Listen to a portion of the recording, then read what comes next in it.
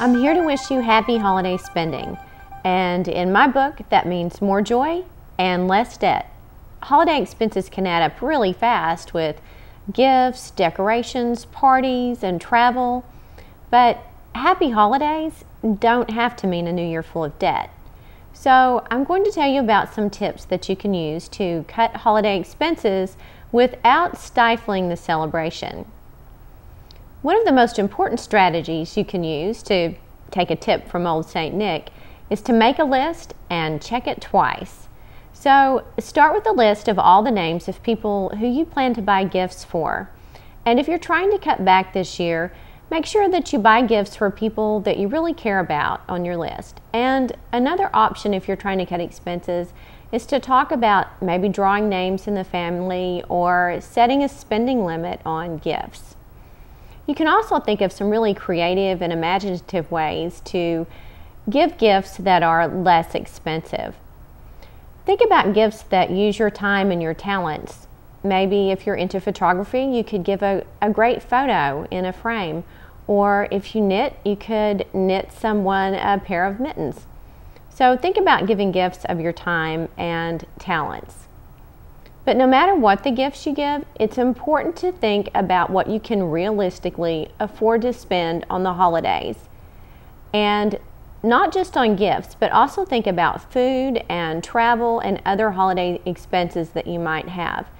And think about what you can spend right now. It's easy to get swept up in the holiday spirit and overspend. So, planning on the front end for what you can realistically afford is an important thing to do. Sometimes it's hard to tell the kids no when they have pages full of a holiday wish list, but it's okay to set limits.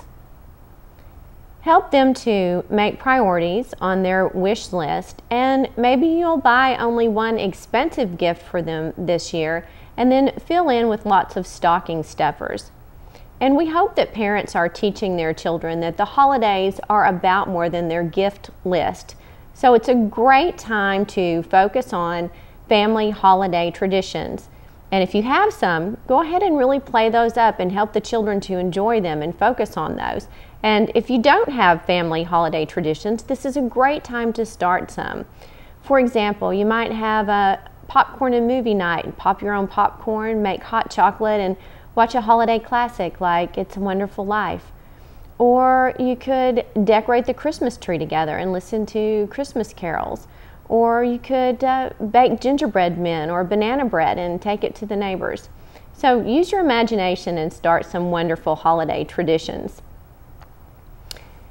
And finally, when you do go for your holiday shopping, remember to shop carefully. When you get in the stores and the holiday music is playing and the scent of Christmas is in the air, it's easy to forget about your list. So stick to your list, compare prices on your more expensive items, use coupons when you can, and pay cash when possible. And if you do have to use credit, make sure you have a plan in place to pay it off as soon as possible after the first of the year. And remember, overspending during the holidays can lead to financial stress in the new year. So here's wishing you happy holiday spending. To learn more, contact your county extension agent and follow the links in this section.